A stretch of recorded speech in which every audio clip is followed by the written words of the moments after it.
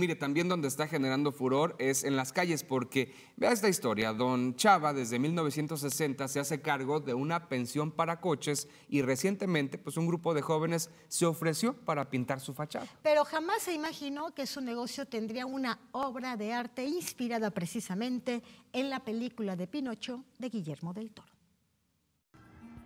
Es la creación de tres artistas tapatíos que dedican su obra a uno de los personajes del momento, Guillermo del Toro. Don Salvador tiene una pensión de automóviles desde hace 63 años. Dice que semanas atrás decidió pintar su negocio y confió el trabajo en varios jóvenes sin imaginar en lo que se convertiría esa idea. Pues vi que estaban ahí varios pintando, dije, "Bueno", pero voy viendo al último lo que hicieron y pues sí me sorprendieron.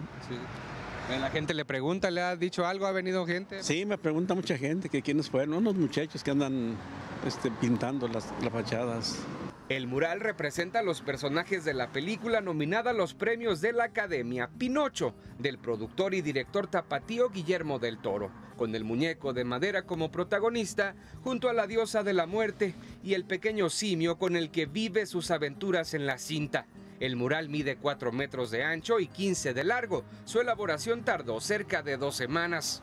Aquí sobre la calle Prisciliano Sánchez, a una cuadra de federalismo, se encuentra este mural que ha llamado la atención de prácticamente todos los tapatíos. Está inspirado en la más reciente obra de Guillermo del Toro, Pinocho.